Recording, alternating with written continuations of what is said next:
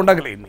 మూడోది ఏంటంటే BRS election narrative సంక్షేమ పథకాల చుట్టూ ఉంటే దానికి బలమైన కౌంటర్ నరేటివ్ ఆరు గ్యారంటీల ద్వారా మేనిఫెస్టో ద్వారా చేయగలిగింది.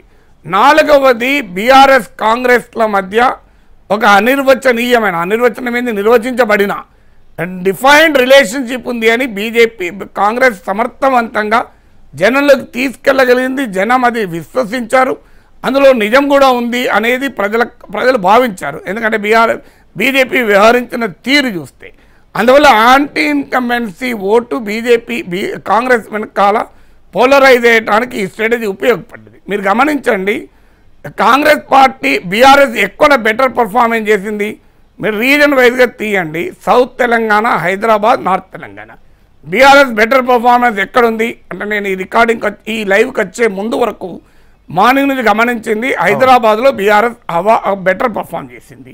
కంపారిటివ్లీ ఉత్తర తెలంగాణలో మిక్స్డ్ పర్ఫార్మెన్స్ రిలేటివ్లీ సౌత్ కన్నా బెటరు ఈ రెండు చోట్లనే బీజేపీ కూడా బెటర్ ఓటింగ్ తెచ్చుకున్నది గమనించండి. అంటే బీజేపీకి ఎక్కడెక్కడైతే ఓటింగ్ వచ్చిందో అక్కడ క్లియర్గా బీఆర్ఎస్ అడ్వాంటేజ్ తీసుకుంది. అంటే కారణం ఏంటి? యాంటీ ఇన్కంబెన్సీ ఓట్ను ఆ మేరకు చీల్చగలిగింది బీజేపీ అనేది క్లియర్గా అర్థమైంది.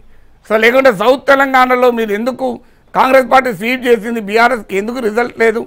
ఎందుకంటే అక్కడ బీజేపీ ప్రభావం నా మాత్రమే. అందువల్ల బీజేపీ కాంగ్రెస్ గెలుపును ఆపలేకపోయింది కానీ ఎంతో కొంత బీఆర్ఎస్ నిలబెట్టగలిగింది. సో బీజేపీకి ఈ మేరకు ఓటింగ్ రాకపోతే బీఆర్ఎస్ పరిస్థితి ఇంకా దయనీయంగా ఉండేది. ఎందుకంటే నరేంద్ర మోడీ చివరి దశలో వచ్చి కేంద్రీకరించి ప్రచారం చేయడం ద్వారా బీజేపీని పెంచాడు బీఆర్ఎస్ను కూడా పెంచాడు. కాంగ్రెస్ను తగ్గించాడు ఆ మేరకు. సో అందువల్ల అక్కడ యాంటీ ఇన్కంబెన్సీ ఓటును బీజే కాంగ్రెస్ సమర్థవంతంగా ర్యాలీ చేయగలిగింది. అంటే బీఆర్ఎస్ పట్టున్న వ్యతిరేకతను ఛానలైజ్ చేసుకొని ఒక ఆల్టర్నేటివ్గా ఎమర్జ్ కాగలిగింది. మీరు దుబ్బాకలో జిహెచ్ఎంసీలో హుజురాబాద్లో బీజేపీ చేయగలిగిన పనిని అసెంబ్లీ ఎన్నికల్లో కాంగ్రెస్ చేయగలిగింది. బీజేపీ స్వయంకృతాపరాధాలకు కూడా అందుకు కారణం. తర్వాత తమ ట్రెడిషనల్ బేసెస్ను రిక్లెయిమ్ చేయగలిగింది. మీరు సాంప్రదాయకంగా కాంగ్రెస్ ఓటర్లు ఎవరు? ఎస్సీ ఎస్టీ ముస్లిం ఈ ఓటర్లు కాంగ్రెస్ ఓటర్లు. మీరు ఇవాళ India Today post poll survey చూడండి. ఎందుకంటే మనకు ఎలక్షన్ రిజల్ట్ను బట్టి ఆ పోస్ట్ పోల్ సర్వే డేటాను మనం కొరిలేట్ చేస్తే క్లియర్గా అర్థమవుతుంది. Yeah, India Today post poll survey ప్రకారం fifty one percent of ఎస్సీస్ forty eight percent of STs మీకు కాంగ్రెస్ కోటేశారు.